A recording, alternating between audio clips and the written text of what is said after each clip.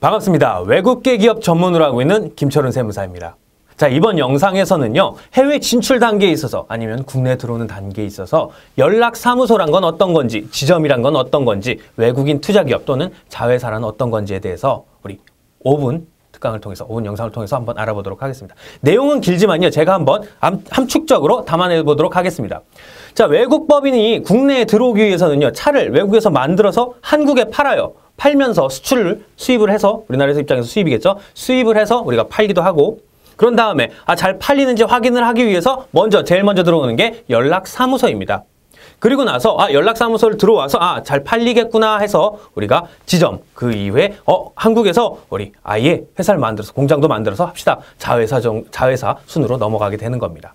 자, 한번 차이 알아보도록 할게요. 제일 먼저 연락사무소입니다.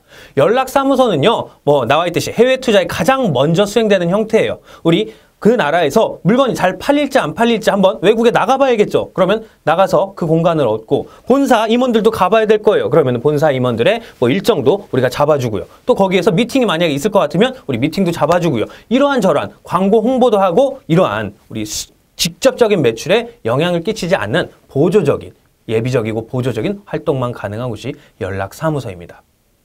아셨죠? 가장 중요한 게 두 번째, 예비적이고 보조적인 활동만 가능합니다. 매출과 관련이 없는 일이요. 물론 여기에서도 직원을 채용을 할 수가 있어요. 그 안에서 누군가 일을 해줘야겠죠? 이러할 경우에 직원에게 급여를 줄 때 우리 원천징수를 해야 되니까 원천징수 의무 또는 지급명세서 제출 의무까지 우리가 연락사무소는 가지고 있습니다. 자, 어, 될 것 같아요. 될 것 같아서 우리 지점을 만들었습니다. 지점 같은 경우는요, 우리 옛날 전래동화처럼 이렇게 옆 담장으로 넘어간 나뭇가지처럼 우리가 살짝 걸쳐 있는 거예요. 그래서 외국에 있는 본사가 한국에 들어오는 형태로서 우리가 매출을 할 수 있는, 일으킬 수 있는 가장 첫 번째가 지점 형태입니다. 자, 외국 회사의 본사의 실질적인 사업 활동을요, 자동차 파는 거나 이런 거를 한국에서도 이제 드디어 매출 활동을 할 수가 있습니다. 조금 전 연락사무소에선 할 수가 없었죠. 자, 마찬가지로 세 번째로 수익, 수익을 발생시키는 매출과 관련된 사업 활동을 드디어 수행을 할 수가 있고요. 대신에 우리 본, 그 본뿌리는 외국에 있고 담장을 넘은 가지라고 얘기했죠. 그렇기 때문에 국내에서 이 담장에 담장에 넘은 이 가지 부분에서만 발생한 국내에 발생한 소득에 대해서만 우리나라에선 법인세를 과세하게 됩니다. 어 그러니까는 우리가 외국에 나가서 파니까는 물건이 잘 팔릴 것 같아요. 한국에 들어가서 파니까 아예 한국에 뿌리를 내리자 해서 우리가 넘어가는 게 외국인 투자 기업입니다. 외국에서 투자를 한 기업이에요. 그래서 가장 최종 해외 진출에 있어서 해외에서 우리나라에 들어오는 진출에 있어서도 마찬가지로 가장 최종 단계가 외국인 투자 기업이고요.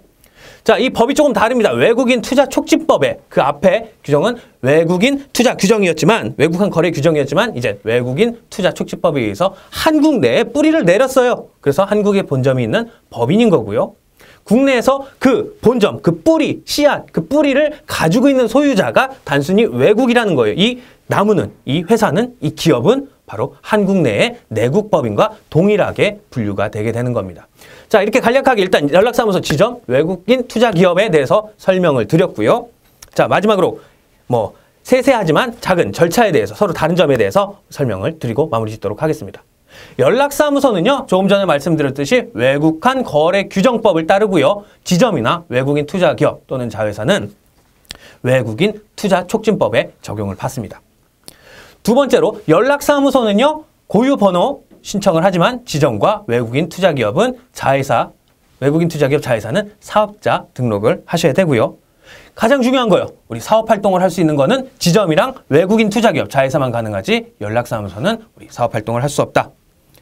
납세 의무, 세금은요, 연락사무소는 조금 전에 말씀드렸듯이 딱 두 가지, 원천징수 의무, 그리고 지급 명세서 의무, 납세 협력 의무만 있고, 지점은 한국 내에서 벌어들인 소, 소득, 그리고 외국인 투자 기업 자회사는 전 세계 소득에 대해서 우리가 납부를 해야 되는 의무가 있습니다.